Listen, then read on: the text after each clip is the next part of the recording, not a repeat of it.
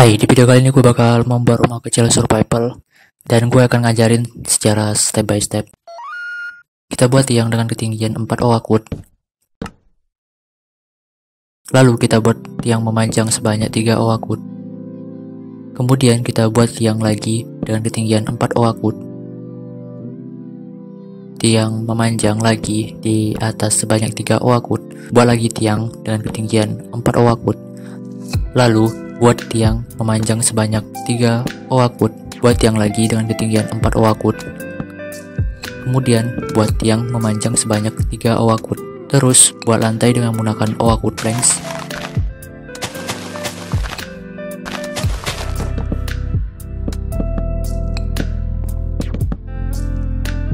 Lalu buat dinding di bagian kiri dengan menggunakan cobblestone, owakut planks, dan glass pane.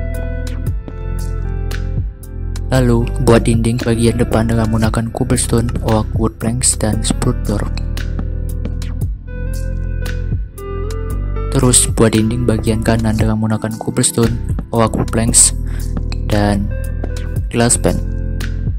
Kemudian kita buat dinding bagian belakang dengan menggunakan cobblestone, oak wood planks, dan glass pane. Selanjutnya kita tutup atasnya dengan menggunakan oak wood slab.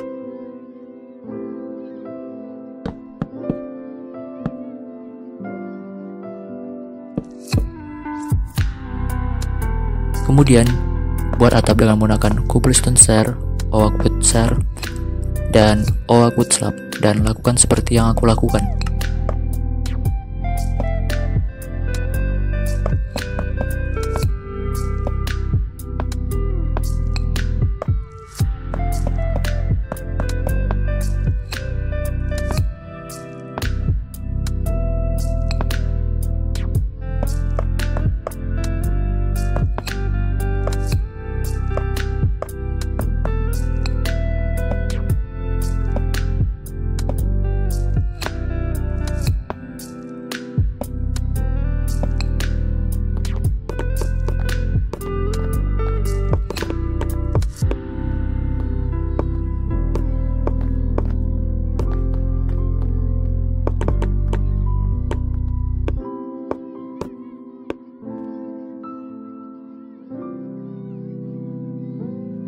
Lalu tutup bagian belakang dan depan di atap dengan menggunakan oak wood planks.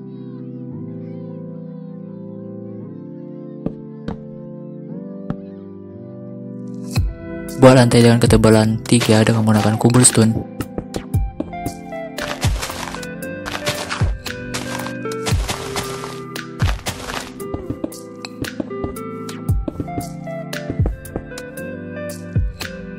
letakkan cobblestone wall di bagian bawah tiang.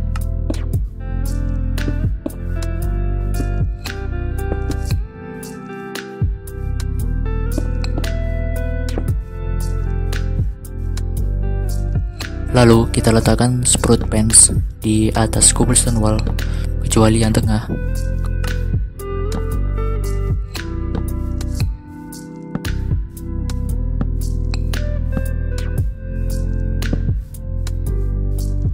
Kemudian letakkan torch di atas cobblestone wall di bagian tengah.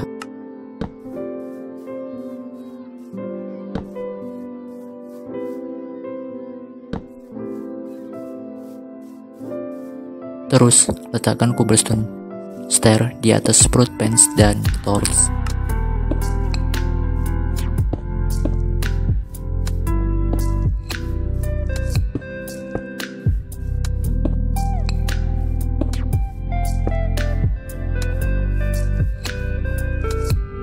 Tambahkan oakwood di atas cobblestone stair.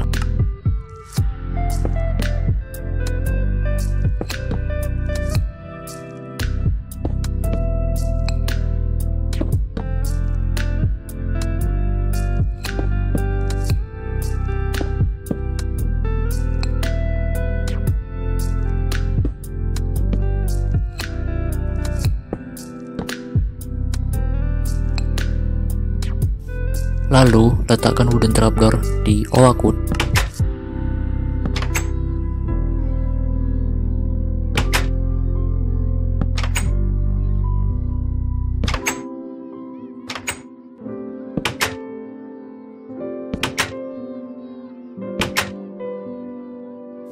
Tambahkan support wood stair di depan dan di belakang.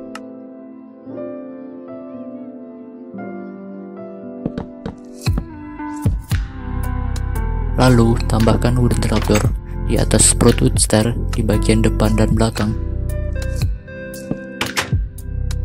Kemudian tambahkan item frame di depan, kanan, belakang, dan kiri.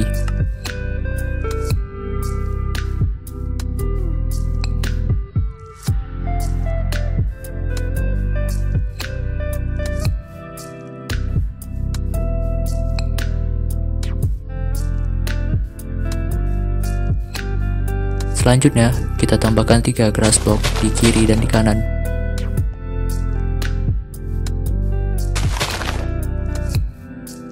Letakkan tiga wooden trapdoor di grass block di bagian kiri dan kanan.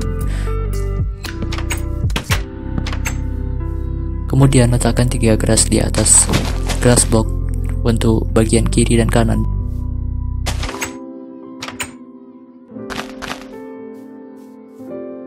Letakkan bed. Lalu letakkan box shelf di kiri dan di kanan bed. Kemudian letakkan power pot di atas box shelf. Terus letakkan fan di power pot. Selanjutnya letakkan chest di bagian kiri dan kanan. Terus letakkan crafting table di kiri dan furnace letakkan di kanan. Kemudian letakkan item frame seperti yang aku lakukan.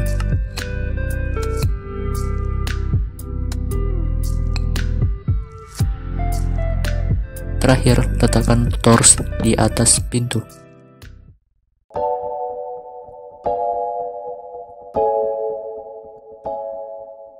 Mungkin segitu untuk video kali ini.